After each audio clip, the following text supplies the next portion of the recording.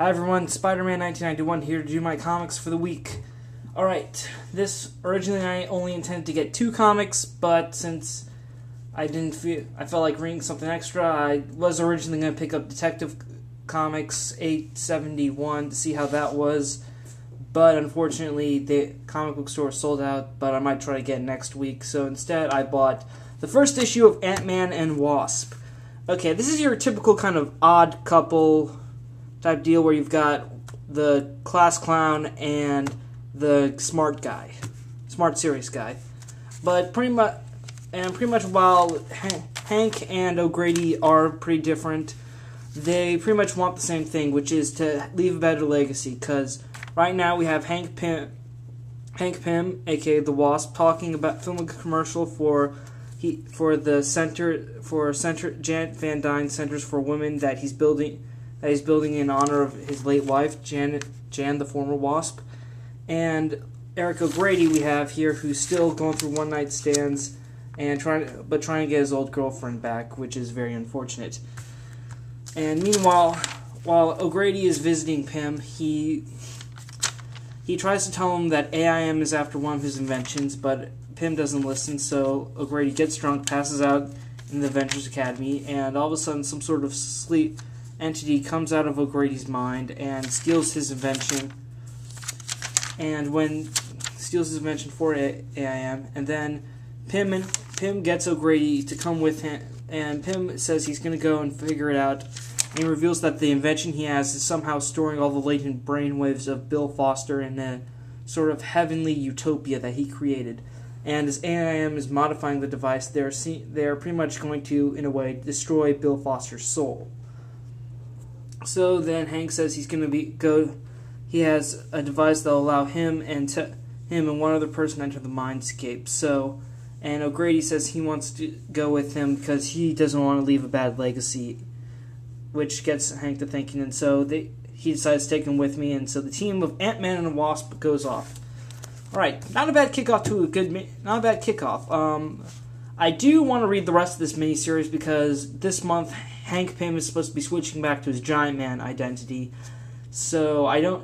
So maybe this series might explain will be pretty much be his final tale as the Wasp. And I've enjoyed Hank Pym as the Wasp since Mighty Avengers. So I'm kind of hoping that this put puts him in a sort of heroic state of awesome action and everything. Okay. And I'm definitely to pick up the rest of this miniseries, which is ironic because the n- next issue, number two, came out this week, but I went to the comic book store and I figured that out right after I got back, but I didn't see the issue anywhere, so irony. Right, moving right along, time for DC. Brightest Day number 15 with the title Whatever Happened to the Mar- Manhunter from Mars. Alright, we open up on Mars where all the Martians have gathered to honor John Jones, who's now a Green Lantern, and all the all the founding members of the Justice League have gotten older, and they're there to celebrate John, J'onn's anniversary of when Mars has returned to life and stuff. So basically, Bru- and pretty much it's just all just the League and John catching up, catching up, and he's and J'onn's kind of living in a utopian state. But then he discovers that Batman's dead, and he discovers pearl bullets, which are sort of special, which only the founding members of the Justice League would get. And Batman was trying to write a write a scrawling message, dying message in his own blood. And then it's revealed that the other members of the Justice League are dead, dead all except for Superman. And John and his daughter are able to find Superman, but he's alive, but barely because he has a kryptonite death mask. So John takes takes Superman off, off the planet to recharge his body and he and Clark and Superman and John have a discussion about uh, about how super about how they're both the last of their species, but there's a difference that Clark Clark came to Earth as a baby and he had no memory of Krypton, so he could start fresh. John didn't. He still remembers having to bury every single Martian from when his race died. And so he says he doesn't agree with Clark and kills Superman with a kryptonite dagger. And then he looks at the bodies, and they're the symbols, Martian symbols of hate and love. And then John realizes that this world isn't real, and it's actually that evil Martian D'kay who's controlling his mind. And And our last bit here is Firestorm coming to the Justice League for help on ha- having to defeat Deathstorm. Okay. Brightest Day number 15. Um, well, it's kind of a spotlight on Martian Manhunter. It's not bad. It's not really bad. It's entertaining, but not really essential. But seems like they stretched out the plot a bit too much. Though, I mean, I do like the title. Uh, I do like whatever happened to whatever this hero was stories. And it was pretty interesting seeing what would happen if that thing John did last a couple of issues back where he revived all life on Mars if that actually worked, what his life would have been like. But that's not the case, and we're back in the present. And good cliffhanger with Firestorm because I want to see how that how that works out. And okay, once again, Brightest Day only caters to this issue only caters to a certain group of fans. So only get this if you're either a fan of the if you're just a fan of the Martian Manhunter, right? Moving right along for the final comic, Adventure Comics 521. Now the Legion story is set in the current timeline, which is after post Legion of Three Worlds, so everything's in the present, and the little Dio, Dyogene thing has returned to finally make its choice about who should be the new Green Lantern.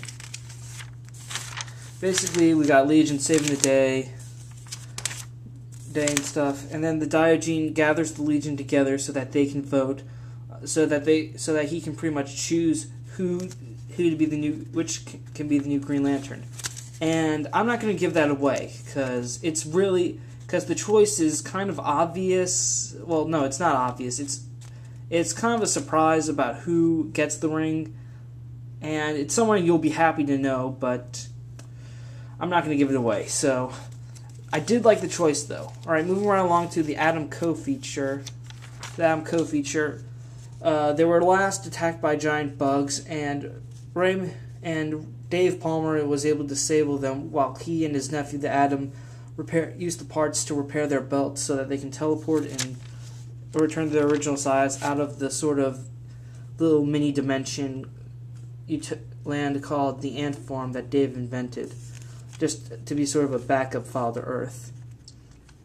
And both of them are successfully able to repair their belts and get out of the ant farm, but the Atom tells Ray tells I'm sorry Dave to get get ready to teleport out of there, but Dave doesn't want to leave his invention, so they get taken over by the Covenant, and then they tell tell Ray Palmer to hand over his white dwarf star matter, and he says hell no, but then they say, but then they reveal that he either gives them the white mat, dwarf matter or they kill his dad who's in coma. And now it says to be continued in Atom's in the Atom Special number two in March. Okay. So, Adventure Comics. Next issue, it's going to be. Right now, this is three ninety nine, but next month it will be down to two ninety nine, and the Atom Co feature will be dropped, so it will be all Legion, but it will feature the Green Lantern of the thirty first century, who I'm not gonna, who I have to try not to give away. But okay, as far the issue itself, I enjoyed it. I enjoyed the choice of, as I said, I've enjoyed the choice of the Green Lantern. The I think they made the right choice with who the new Green Lantern should be, and the Atom Co feature. I'm pre- kind of enjoying it. It's sort of great. And what else do I have to say? Uh, definitely looking forward to the Atom feature, which will be in, which will be out in March, though. But I think that's kind of a long time to wait for it. In March, they couldn't have done it next month, but Oh well. And I'm also glad that DC's going to reduce the price on this to two ninety nine because that's just great. Okay, so quick little recap: Adventure Comics 521. Get it if you're either a Green Lantern fan or a Legion fan or an Atom fan. Okay, Brightest Day number 15. Martian Manhunter fans only. And Ant Man and Wasp. If you've loved Hank Pym or if you love Eric O'Grady, then I would recommend getting this for this because they're both interesting characters. Okay? And that's all I have to say. Spider Man 1991 saying, see you later.